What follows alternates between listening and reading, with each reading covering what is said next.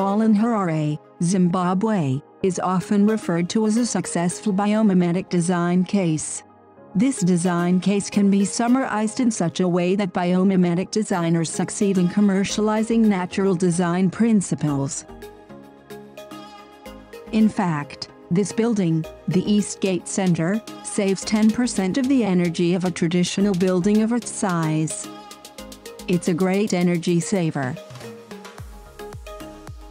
The Eastgate Center building, like any other traditional large buildings, is made of concrete. But the noticeable thing is that the architects of this construction project mimics the low-energy ventilation system of termite mounds.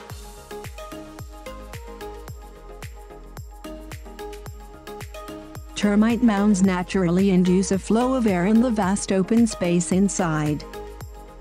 Like this mechanism, the inspired man-made building has similar structures, such as the internal open spaces and chimneys which exchange air.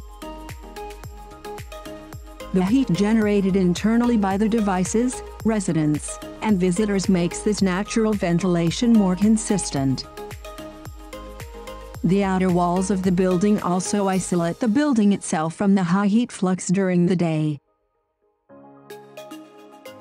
This ingenious system enables the building to maintain a satisfactory temperature without air conditioning devices except for fans for air exchange.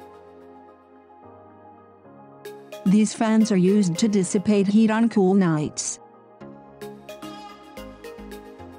This passive internal climate control idea guides us in rethinking an ecosystem in our neighborhood and finding solutions from next door neighbors, as the architects got inspired by termite mounds near the construction sites.